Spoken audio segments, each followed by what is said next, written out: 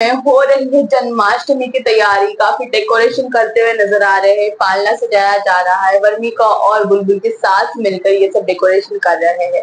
तभी वहाँ पे आती है बुलबुल और बुलबुल की सास उनको गुस्सा करती है क्योंकि उन्होंने निर्जला व्रत रखा है बुलबुल में। और ये बात सुनकर, ये प्यार भरा गुस्सा है पर गुस्सा होते हैं क्योंकि उनको उनकी फ़िक्र है। तभी वहाँ पे वीर आते हैं और वीर भी काफ़ी गुस्से में नज़र आ रहे हैं ये बात सुन के क्योंकि बुलबुल का अभी भी इलाज चल रहा है उन्हें दवाइयाँ लेनी पड़ती है और इसी बीच उन्होंने निर्जला व्रत रखा है। बहू को चोट लगी लेकिन नहीं आराम करने को नहीं बोले। साथ में निर्जला व्रत भी रखवा दिया यही चाहती हो ना तुम?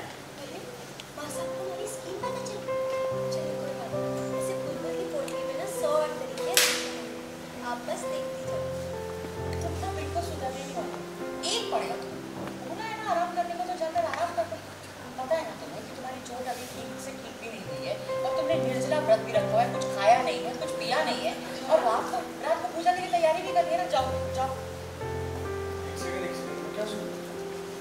क्या क्या?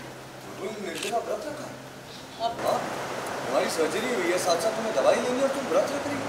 माँ आपने भी मना नहीं किया। मैंने मना किया था लेकिन ये नहीं सुन मासा ने मना किया था हमारे को। मैंने खुद ही जिद की।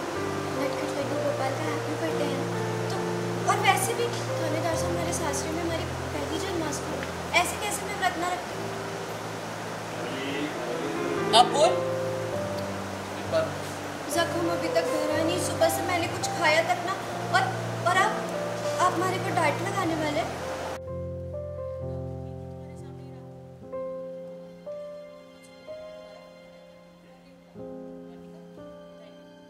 भरा नहीं सुबह से कुछ खाया नहीं और आप हमारे को डांट लगाने वाले थानेदार साहब।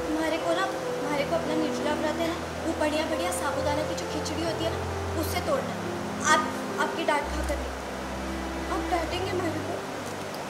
ठीक है। फ़िलहाल अपनी वो साबुदाना वाली खिचड़ी खा लो। डांट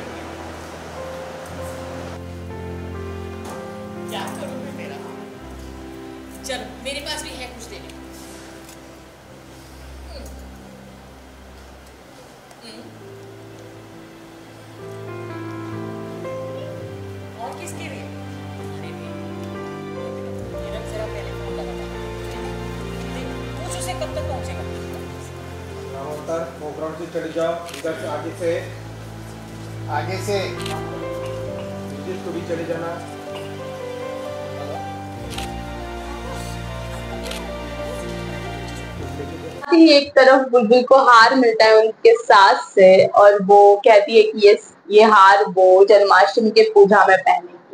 तभी वहाँ पे नज़र आ रहा है कि विशेष की कोई खबर आती है जहाँ पर विशेष किसी लड़की के साथ है और वर्णिका को अगर ये बात पता चल गई तो वो काफ़ी उदास हो जाएगी। ये सब टेंशन घर में फ़िलहाल नज़र आ रहा है। अब देखते हैं आगे होता क्या है। ऐसे ही हमारे साथ वीडियो जुड़े रहिए और लाइक कीजिए शेयर कीजिए कमेंट करके ज़रूर बताना आपको ये वीडियो कैसा लगा।